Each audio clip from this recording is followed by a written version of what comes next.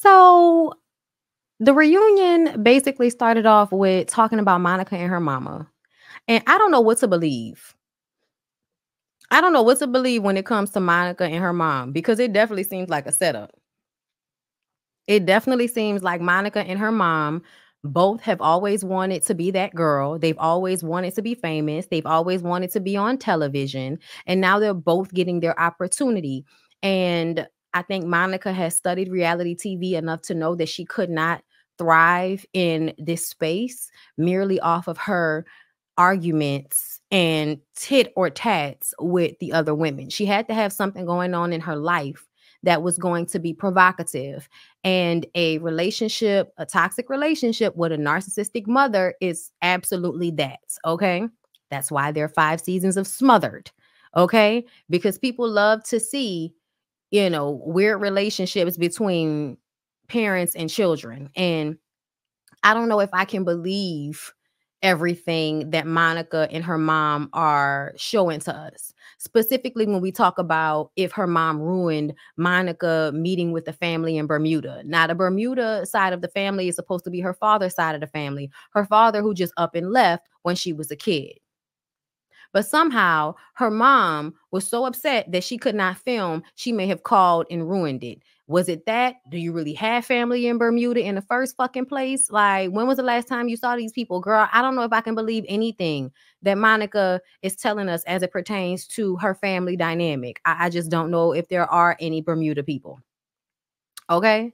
Her mom left her when she was 12 years old so that she can go and pursue a career in television. So that should let you know that this is in their familial, you know, life cycle thing to want to be famous, to want to pursue being in the limelight by any means. You will leave your child to go and pursue this. And I'm not I'm not judging people who do do that because we know there are the K Michelle's of the world that have left their kids with their parents so that they can go and pursue their careers. That's something you're gonna have to deal with with that child, but it's your life, so no regrets. But ultimately, what we see now from Monica, somebody, as Angie K said, willing to use her children's money to buy purses and to take a job that's not even a job because you're not getting paid so that you can be on the show but you obviously are taking money, food, access out of your kids' mouths and hands because you want to be on television. You were willing to work for nothing and be taken away from them, also that you can get on television. As if that was supposed to help them instead of harm them when you, their mother, is being attacked and they may get attacked because of you. Like, it's just, it's not a good look to me. It's not a good example, as Angie K said. Okay. Also, Monica's mama is on Twitter talking shit, saying Monica did her dirty and Monica is a bully who has manipulated her and bullied her for 16 years. And I'm like, so your daughter has been bullying and manipulating you for 16 years. Is that what you want us to believe? All that gaslighting you did on this fucking show, and you want us to believe that Monica has been bullying you? Yeah, I'm. I'm. Mm, Mm. I don't know if Monica made that up. I don't know if that's some bullshit that her and her mama coming to us with, but no, I'm not gonna believe that either way, girl. I'm just not. Monica, she also said Monica provokes her, but she forgives her. And y'all ain't nothing worse than a parent that's been fucking over you your entire life, made you responsible for yourself and them. And then they turn around and tell you that they forgive you because you won't really fuck with them like that. I don't fuck with you like that because you weren't a good mother. That's why I don't fuck with you like that. What what am I apologizing to you for? Girl, talking about you forgive her. Uh-uh. Uh-uh. Yes, Botox wears off. Y'all know what I mean. Like she hasn't gone and gotten anything like permanent done to herself. Talking about Pamela. Okay. But yes, when Monica told her she didn't do well on her audition for the show, her mom prayed that if it wasn't Monica, it would be her and she would get it instead. Heather says, and you still filmed with her after that? And Monica says, well, at this point, it's just kind of normal for her to be biting off me and trying to steal my shine. She's still my mom. You know what I mean? Like it's normal. Whitney understands, and Whitney shares with us that she has a toxic relationship with both her father and her mother at this point. Now, we've seen her father. I don't think we've ever seen her mother, but she says her mother was never really there for her. But they have a better relationship now that she and her father aren't speaking. And it seems as if Whitney's relationship with her father may have caused some issues between her and her mom. And y'all know that Whitney's dad is on drugs, right? So she's not talking to him right now because she kept trying to get him help and he really didn't want the help. So now that she and her dad aren't speaking, she and her mom are on better terms. Monica fell down some stairs at Angie's house when they were filming. Remember when they got into it and everybody's going back and forth and um, Monica was storming out the house and fell down the stairs. Monica said that she should sue her because there was no railing. Um, Meredith told her that she could take Angie's house. And even though Meredith tried to act as if she didn't say exactly that, but told her she could absolutely, you know, file a suit against her for not having a railing there um, as a safety hazard, I do believe that Meredith probably wanted to help Monica if she did want to press charges against Angie K because Angie K had called Meredith everything but a child of God. So yeah, they don't see it for each other. You want to talk about me, you want to call me a hoe, you want to do all of this shit that you're doing, talking about me, all because I insinuated something about your husband after you came for my neck, after you was running your mouth screaming and howling about me being a hoe, and I ain't even say shit. That wasn't me. Oh, all right. And I really feel like Lisa put that battery in Angie's back. I feel like whenever Lisa wants to go at Meredith, she'll send Angie K at her instead she did the same thing with Heather. I think that Lisa doesn't really like to get into fights and would much rather take the passive aggressive route with people. Whenever she starts to get into an actual verbal argument, she gets so nervous and, you know, just overheated. She starts talking fast. She doesn't know what the fuck she's saying. And then she ends up crying, like losing her shit and then crying. So, yeah, girl, girl I, I, can't stand Lisa. I'm gonna just tell y'all, I do not like Lisa, and that's the reason why I didn't like Angie K. Because I, girl, I don't like your friends. Because all your friends are like little puppets with your hand up their asses. I'm not. I'm not here for it. I don't like that type of dynamic between grown ass women. Okay. But anyway, so Monica is also countersuing because Angie was like, all she does is sue people. She sues people for a living. And Monica was like, shut up, bitch. Okay, bench warming ass bitch. When have I ever sued anybody? And Heather was like, you're suing me. So apparently, Heather said that Monica was going to her spa and getting all of these things done and not paying her bills. And so Heather is suing her for her money, and Monica is countersuing her. Girl, how you gonna counter to super some shit that you did? If you ain't pay that lady, you ain't pay that lady. And then she used a whole bunch of different names at Heather's establishment. Y'all know Heather has her med spa. So I was just kind of like, yeah, Monica, you're, you're giving scammer. You and your mom are giving scammer. Rodney is absolutely right. Heartbreakers, if y'all watch Rodney, Heartbreakers is one of my favorite movies growing up with Sigourney Weaver and Jennifer Love Hewitt the the scamming mo- mother daughter duo that would marry men of a particular age and either wait for them to die or set it up for them to cheat, get caught cheating so she can hurry up and divorce and get a settlement. Yeah. Okay, girl, it's a thing. It absolutely is a thing. But amongst wealthy men, not you broke niggas that don't have anything but swear up and down somebody's trying to take you for your 250. Okay, like keep it in your account, sir. Keep it in your account. You're gonna have to get groceries and gas. All right. Anyway, so Lisa started defending Angie K, and then she throws Monica's mother in her face, which we knew she was gonna do that. Monica you know, is asked about all of her names and all of her aliases. And she tries to explain and she changed her name from her mom's name. And then she got married. And then she went back to her original last name. Girl, I don't know. Monica is lying. She got all of them different last names because she's a scammer. They argue whether it was Lisa or Jen that said, Monica was using different names to make herself seem more Latina. I think Lisa said it. I do. Um, but Lisa probably said what she heard Jen say. I'm gonna say it like that.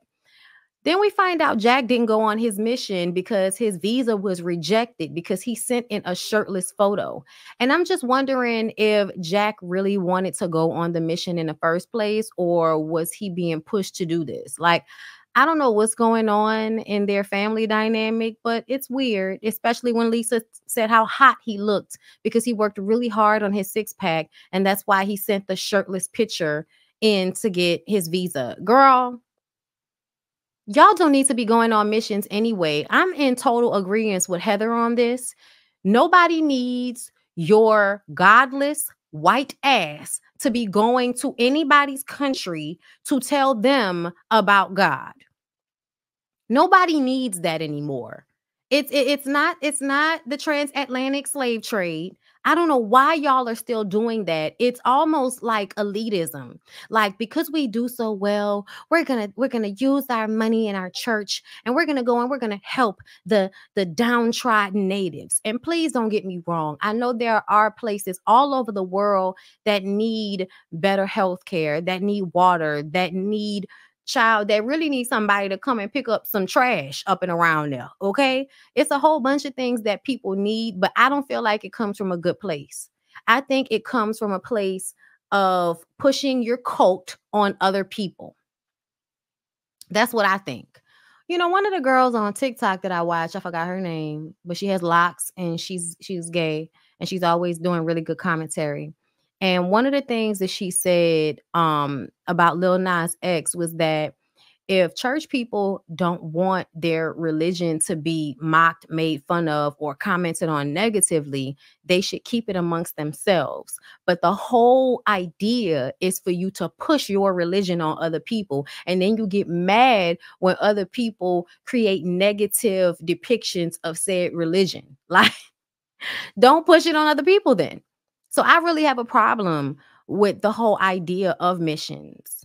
Um, if you want to go and, and do charity work, if you want to go and help people, fine. But giving them your white man religion in order to enslave their minds and their spirits, yeah, no, I'm sorry. I'm not playing this game with y'all it's already dark over here with the way everybody won't let go of it in America. Like it, it's already it's already dark, girl. We don't need anybody else to continue down this line of taking on white people's religions and and being brainwashed into hating themselves by product.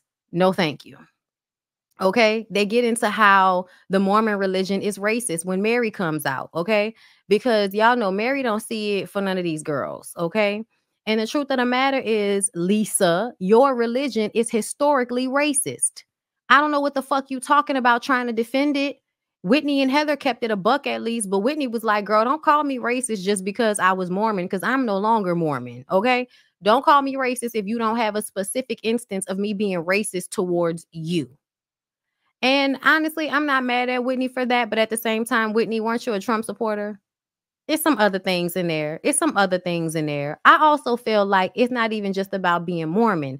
I think it's in this world, and especially with being American, because Americans are obsessed with color and obsessed with race, um, more so than other countries.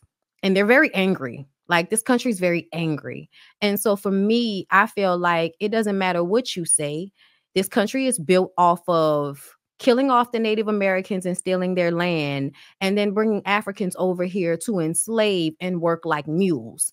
Yeah, this country is absolutely built and and threaded with blood and racism and sexism and and that's the fabric.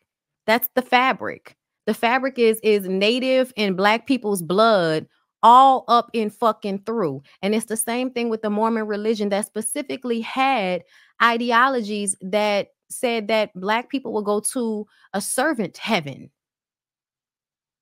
Like the fuck, a servant heaven. Word, Mormon people. Word. So yeah, I, I I definitely feel like American white people in America profit off of racism, white privilege. No matter what they do or what they say, they have to make a conscious effort to not be racist in order to not be racist. It has to be a conscious effort. It can't just be, oh, I'm just not. No, because innately you are.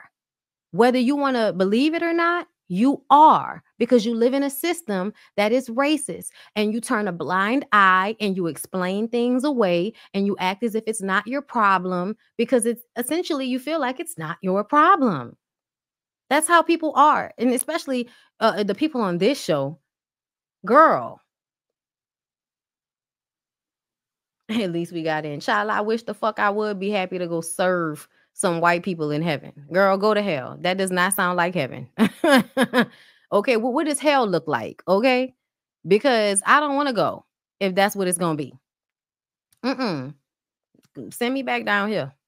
Anyway, um, they also discussed how Mary told her son's wife slash girlfriend because she still hasn't seen a marriage certificate to stop faking because she walked past their room and she was doing all of this hooping and hollering and she was like girl please don't make my son think he's doing anything more than what he really is. I love that. That shit was hilarious okay but she still got them two 20 something year old 22 year old people living in her house and fucking loudly i would have definitely told that little girl hey hey little girl stop with all of that making all that fucking noise in my house Get your own house if y'all want to have loud sex. Disrespectful ass little assholes. Anyway, y'all. So Mary feels like Heather was over the top, kicking Monica off the trip. It was, but it was called for. It was, it was called for. It was absolutely called for. So I'm not really mad at Heather for being over the top, girl. It's a reality show. Give us something to chew on. Get out of here. Go home. Oh my God, Heather they say Heather's on Ozempic. That's why she's losing all of that weight. Oh, be careful, girl, because sometimes you got a big head and you got weight on your body for a reason. Just be careful, girl. Just be careful. All right. Take care of yourself, Heather. Um, I don't hate Heather. Like, I really don't like Lisa, but I don't really dislike Heather. You know what I'm saying? But Mary don't like her no more because she made comments about her house. And I'm like, Mary, shut the fuck up. You call that lady inbred. And yes, she was shading your ugly ass house, but oh well. Oh well.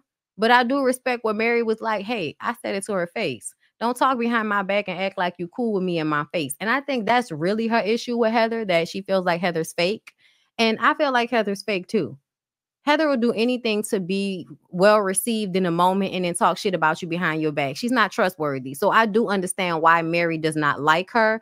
But at the same time, Mary, like, girl, tip for tat all fucking day. You say crazy shit to people, and I don't know why um you can't see, you know, that you say fucked up things to them and it gets back to them, or you say it to their face, the shit that they say gets back to you. It doesn't matter. Y'all are saying fucked up shit about each other.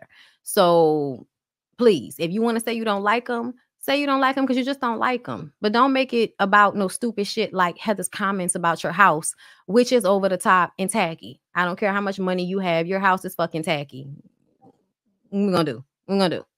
Fuck. Anyway, um, they play this clip where it sounds like Monica is calling Mary a dumb bitch. But I don't think that's what was being said. It sounded like Monica was talking about somebody else. And then she said, I'm going to DM Mary. But it didn't sound like she was calling Mary a dumb bitch. But Lisa and Heather have been pulling out audio recordings all reunion, trying to prove, you know, Monica to be, you know, this reality blog infiltrator, snake. And it's like, you proved it already. You proved it already. Why are we still pulling out audio recordings and shit? Like, I get it, but that one seemed cut in a in a way to make it look a certain way, even if it wasn't really that way. So I, I didn't like that. I really think they want Monica to be disliked by Mary so bad. And it's like, why? Why? Mary don't like you, Lisa. Mary don't like you, Whitney. Mary don't like you, uh, uh, Heather. She says she actually likes Angie K because Angie K can handle her and you know doesn't do all of that woe is me, I'm gonna cry bullshit. And I think that's really why she doesn't like Lisa and Heather and Whitney because they like to throw rocks. And then as soon as somebody comes back at them with that shit, they like to cry and play victim. And I'm not about to have you gaslighting me so that you can do the white woman thing. That's why she's cool with Angie. And that's also why she's trying to give Monica a chance because anybody that don't like these bitches, I don't like them either. So you may be somebody I can fuck with. We gonna see. Okay. But I do believe Monica when she says that she's not the only person running Reality Von Tease. I do believe that. And I appreciated when Mary said that they needed to hear her out instead of constantly talking over her because it did seem like they were trying to railroad her with that last clip. Y'all tell me what y'all think. But anyway, um, Heather is racist too. Child, I told y'all, I think all white people are racist. I don't know, I don't know, you know, whether it's conscious or subconscious. I think subconsciously all white people are racist unless they have it in their minds to make a conscious effort to not show up in the world that way. And I do feel like there are white people who like make a conscious effort to not be that way. I do think that. But I also feel like there's an even larger number of y'all that like to stick your heads in the sand and act like it doesn't bother you or it's not happening. Hey, Talia, big time. Even the good ones display their privilege in situations like arguing with cops, taking liberties with no concern of consequences, the way a melanated person has to consider them. Absolutely. I remember one Asian American dude that is Christian went to convert one of the few population that wasn't colonized in Asia. They ended his life. Shout out to the Asians. Um, but the love one another doctrine of every religion is conveniently overlooked constantly and without fail. constantly and without fail. Heather is a racist. She fetishizes black men. Oh, not anymore. She cleaned that shit up. Joseph Smith was called a prophet. Dumb, dumb, dumb, dumb. Ah, South Park. it's recruiting. We all know it is. Indoctrination, brainwashing, enslavement of the cult who are they to decide that the religion you practice is bad and will lead you to going to hell? That's another thing I don't like. How the fuck you gonna tell me? Because y'all historically, a person's God is representative of them, their family, and their people. So when you give people somebody else's God, it's detrimental to their self-esteem. I know people don't realize that, but it's very true. You seeing God as a white man is detrimental to how you see yourself. Your God should look like you. That's how I feel about it. Okay. And so, because I feel like your God should look like you, whenever somebody is coming to give you their God, they're basically giving you them to worship. Because that's how that's going to translate. It's the God in me. Okay. And, and we're not talking about a white man that that's inside of me. Okay. White women do it all the time. Yeah, they do. Yes, they do. Oh, she talking about uh Centennial Island, the last island on earth to be truly untouched by the rest of the world. Asian dude got killed because every time they engage with us, two to three of the colonies dies. Oh, listen, and they should. They should. I think that anytime somebody go over there, off with their fucking head. My God is definitely black. All right. My uncle has had a white girlfriend for over 30 years, and she is family Trump movement. And there were like some surprises that we never expected. Girl, I don't I don't know what surprises you couldn't expect. But y'all, I listen, don't put nothing past nobody. Always the ones with the private pages. Always the ones with the private pages. I think those are rage baiting troll pages. Uh, I like boobs, but those, yeah, they are. That guy, yeah. I like boobs, but those 90s boobs and they were just so fucking big in the 90s. The titties were so big. They were just on swole for no reason in the 90s. Goddamn Baywatch. But anyway, y'all, that's basically everything that went down on both shows. I feel like I've been here long enough. I'm supposed to be going out in a little while, so I'm to leave it here. Um, but we do have another part to this reunion, I believe. So I will definitely have another um live with these. And then moving forward, um, we'll see what I do with Love and Hip Hop. Love and Hip Hop might stay behind the paywall if I get another show to put with it, or I might add it to the Bondy Blue show, or I might add it like a Sunday Love and Marriage Huntsville thing. We'll just see. Because Love and Marriage Huntsville and Belle Collective are about to go away. Um, I know DC is coming back. Um, so you know we'll have that but i'm i'm not into ready to love anymore y'all. I know ready to love just started a new season and i was just like yeah no thank you. No thank you. Enough is enough. But yeah i love you guys. I appreciate y'all so much for coming through. I hope y'all enjoy y'all weekend and i will talk to y'all in the next one. Peace out